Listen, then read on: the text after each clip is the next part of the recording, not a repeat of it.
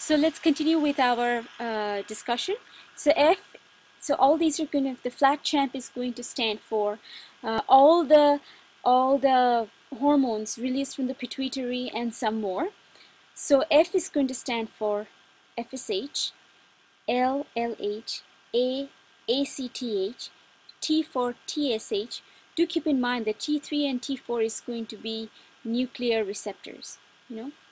C is going to be 2, calcitonin, and CRH. Okay, both of them is going to be C. H is going to be um, HCG, that's the one I tend to forget.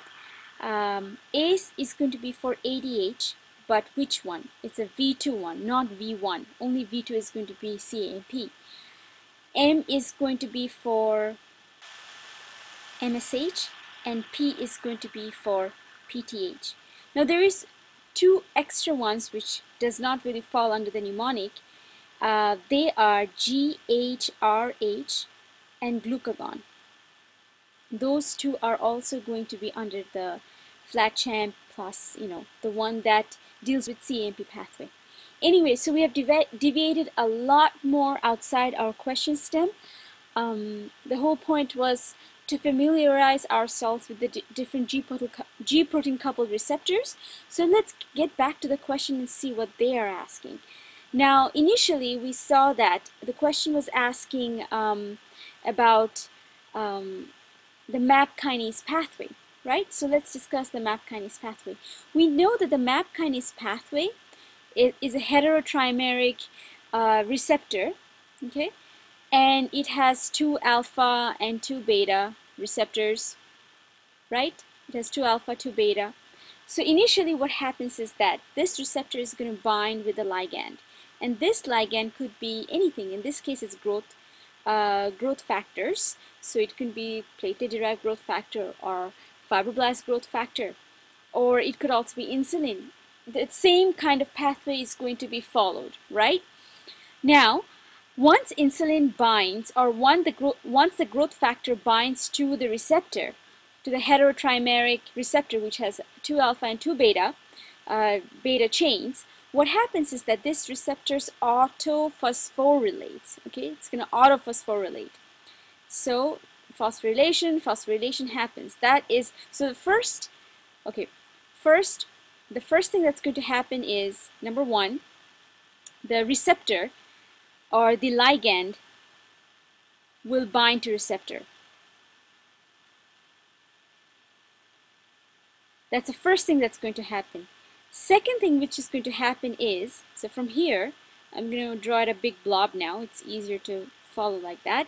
The second thing that's going to happen is this receptor is going to autophosphorylate. Okay, so imagine they're autophosphorylating. So phosphorus, phosphorate, phosphorus coming here. So autophosphorylation is the second thing that's going to happen. Now this autophosphorylation doesn't happen anywhere. It happens at a specific site and that specific site has a tyrosine here, right? So that's why they say tyrosine residues are autophosphorylated. So I, I'm going to continue writing here that tyrosine residues also autophosphorylates.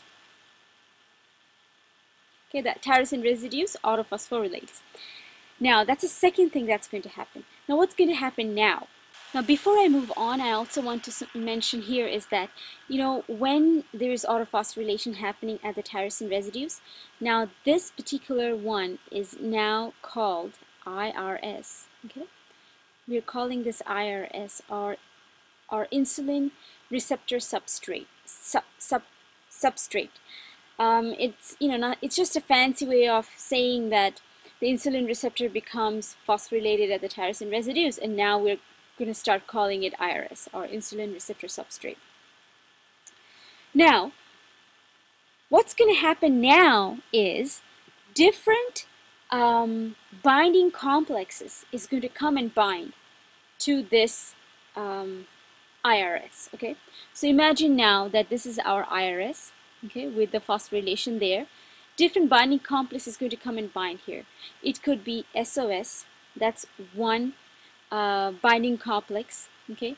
It could be SH1, it could be SH2, it could be SH3, okay? Different things uh, kind of goes in different directions. But the point is, these are all binding complex and they're going to come and bind to our IRS, which is nothing but insulin receptor substrate. So I guess that would be the third thing. So different binding complex. Different binding complex will bind our IRS. That's the third thing. Now what's going to happen now? This binding complexes binding to the IRS is going to activate it's going to activate RAS. Okay, so RAS is going to become inactive to active RAS. Okay. Now, what's the difference between inactive RAS and active RAS? Inactive RAS is bound to GDP. Active RAS is bound to Okay, so that's how we know that the RAS is activated. So now we can say that RAS is going to be activated at point 4. Now once RAS becomes activated, it's going to trigger or it's going to phosphorylate a lot of the pathways inside the cell, starting with RAF. Okay, it's, RAF is one of them and there's many things that's in a RAF is going to eventually uh, phosphorylate MAP. And this will lead to um, you know, transcription in the nucleus. So that's the entire pathway.